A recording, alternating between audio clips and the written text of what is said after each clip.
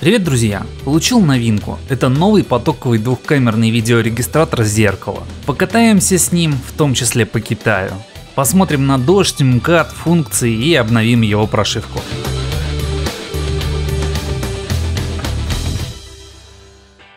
Потоковый это значит, что он одновременно транслирует видео на экран, где его хорошо видно, и сохраняет запись в файл. Такие автомобильные регистраторы еще не популярны, да и в Китае они только начали появляться. Обычно что-то подобное ставят в дорогие автомобили, для того чтобы можно было не выходя из машины оценить обстановку вокруг или сзади по камере. Итак, открываем посылку. В ней находятся две коробки. Само зеркало видеорегистратор и во второй коробке камера заднего вида с длинным 7-метровым проводом и крепежом. Перейдем к видеорегистратору. Достаем.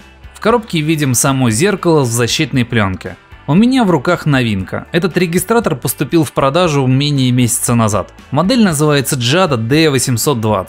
И не путайте этот регистратор с моделью JADA D800. Они похожи, но это разные видеорегистраторы.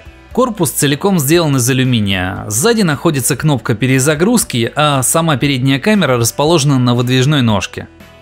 Сверху расположены основные разъемы. Мини-USB порт для питания, видео-вход для подключения задней камеры, слот для microSD карты памяти, максимально поддерживаются карты до 64 гигабайт. Снизу расположена только кнопка включения и отключения. Посмотрим, что еще есть в комплекте. Положили картридер, стойки для закрепления провода, резиновый крепеж за штатное зеркало, трехметровый кабель питания и инструкция на английском языке. В ней указаны основные характеристики видеорегистратора. Отрываем защитную пленку и устанавливаем карту памяти. Включаем. Яркость экрана настраивается. Для этого нужно провести по экрану слева направо по центру, ну а обратно ее можно уменьшить. При выключении света сразу становится понятно насколько огромный тут экран. Он занимает всю площадь зеркала и его диагональ составляет 10 дюймов. Экран у зеркала отключается коротким нажатием на кнопку питания. При этом регистратор не отключается и запись не останавливается. Ну, это на случай, если экран будет мешать и засвечивать отражение в зеркале. А длительным нажатием на кнопку происходит выключение и включение устройства. Качество цветопередачи у экрана отличное. Это картинка с задней камеры. Если переключить отображение на переднюю камеру, то видим, что изображение с нее тоже высокого качества. На экране расположены 6 кнопок управления. Настройки, архив видеозаписей, остановка и запуск записи, переключение вида с камер, фото и блокировка файла от перезаписи. Остановив запись, можно войти в архив, и тут доступен просмотр абсолютно всех роликов, которые хранятся на карте памяти. При выходе из просмотра регистратор автоматически сразу включается на запись видео. Поэтому для того чтобы снова зайти в меню нужно сначала отключить запись, а потом нажать на шестеренку. Небольшое отступление. Регистратор Navio, и я получил его одним из первых. Поэтому за время путешествия на него обновилась прошивка. И продавец уведомил меня об этом в чате на AliExpress и скинул новый файл прошивки. Обновление предельно простое. Нужно закинуть файл в корень флешки, установить ее в регистратор и включить его. Установка запускается автоматически и занимает буквально пару минут. В моем обновлении добавился русский язык, других изменений я не заметил. Итак, в меню видим пункты настроек. Первым идет качество изображения. Максимально доступно Full HD видео 1920 на 1080 точек и 30 кадров в секунду. Это для передней камеры. При этом запись задней камеры не настраивается и всегда ведется в разрешении HD видео 1280 на 720 точек. Далее идет пункт цикличности 1, 2 или 3 минуты. Задержка отключения записи запись звука, система контроля ухода с полосы. RVB Screen это реверс отображения картинки с задней камеры.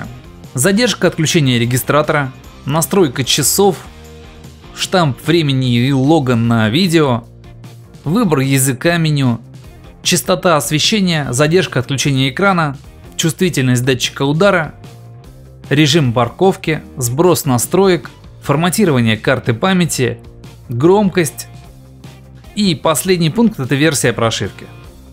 Регистратор крепится в автомобиле за штатное зеркало двумя резиновыми хомутами. Камера находится на подвижном креплении, поэтому ее можно будет подстроить под размер вашего зеркала.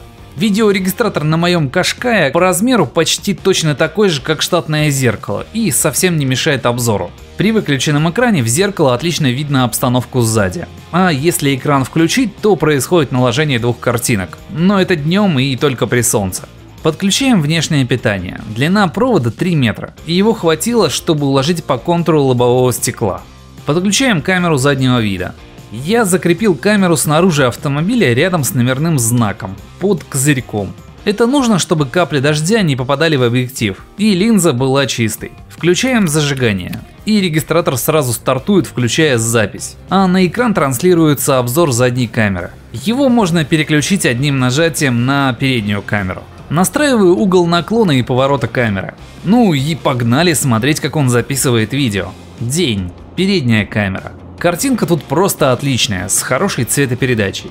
Номера на автомобилях ловит в движении на встречной полосе. И это позволяет отнести регистратор к самым качественным моделям. Угол обзора камеры ну просто огромный, как по мне даже слишком большой. Он охватывает весь капот и соседние полосы движения. Задняя камера.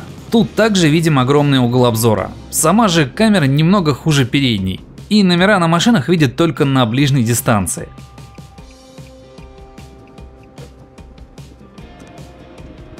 Конечно, линзу они тут поставили почти как рыбий глаз, и захват дороги получился гигантским. Картинка контрастная, и солнце не засвечивает камеру, и без проблем видно дорожную обстановку и номера на машинах.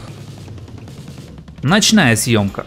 Я, честно говоря, не знаю, какой сенсор тут установлен в передней камере, но такая светлая ночная картинка характерна для OmniVision 4689. И если это так, то это очень хороший светочувствительный сенсор.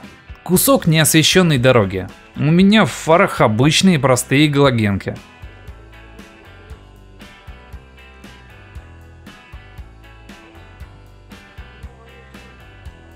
Номера ночью хватает на попутках и светофорах, что также типично для данного сенсора. Ну, я думаю, вы сами все видите, насколько тут все светло и ярко.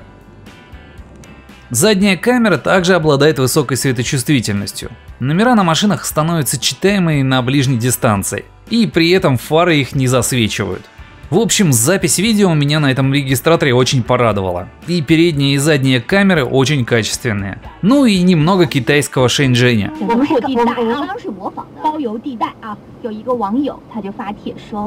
Красота! Еще больше примеров записи видео будет в конце данного ролика.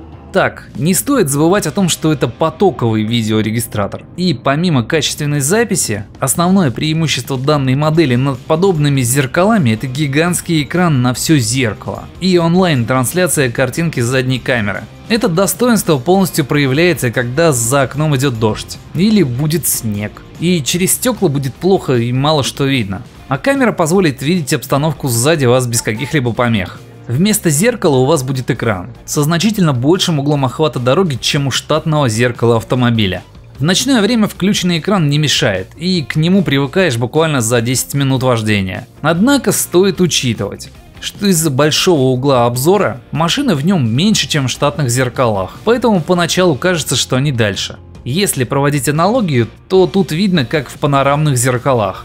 Сама же задняя камера оказалась с высокой светочувствительностью. Заднее стекло на моей машине тонировано, поэтому ночью плохо видно куда паркуешься. А эта камера работает даже при небольшом освещении. Такой регистратор помимо легковых автомобилей будет также полезен для фургонов и грузовиков, у которых нет центрального зеркала. Отдельно в магазине продается удлинитель на кабель для задней камеры. Он позволяет нарастить провод до 17 метров. Что в итоге? Так как это новинка и товар еще мало известен, Регистратор сейчас стоит очень адекватно. Я бы даже сказал, что он стоит дешево. За такой большой 10-дюймовый размер экрана и одновременную качественную съемку с двух камер, его можно назвать чуть ли не лучшим регистратором, который можно купить в Китае. Это также однозначно лучшее зеркало из всех, на которые я делал обзоры. Единственный недостаток это наложение на экран отражения в зеркале. Днем в солнечную погоду. Но при облачности, в вечернее время и тем более в ночное время этого недостатка нет. И регистратор полностью оправдывает себя, транслируя качественное изображение задней камеры. За время его эксплуатации никаких глюков и сбоев с ним не возникло. Регистратор мне очень понравился и я однозначно рекомендую его к приобретению. Свою модель я заказывал на сайте AliExpress и ссылка для заказа находится в описании данного ролика. Доставка заняла около двух недель, курьерской компании прямо в руки.